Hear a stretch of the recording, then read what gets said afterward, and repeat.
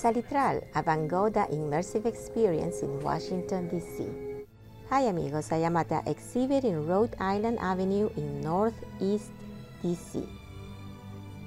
For more than an hour, visitors can surround themselves with 360 degree projections of more than 300 of Vincent van Gogh's sketches, drawings, and paintings.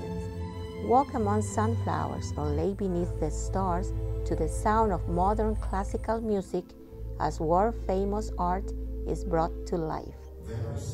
You will enter the information room, the work room, and once you enter the main room, you will be amazed. Paintings come alive on the walls and on the floor. The exhibition is touring cities including London, Naples, and Beijing.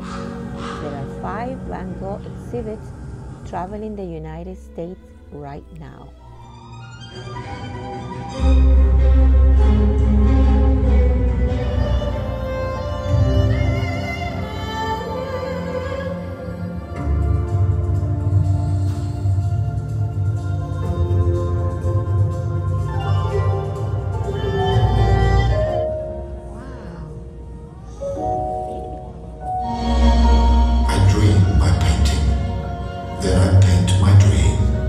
A drawing studio.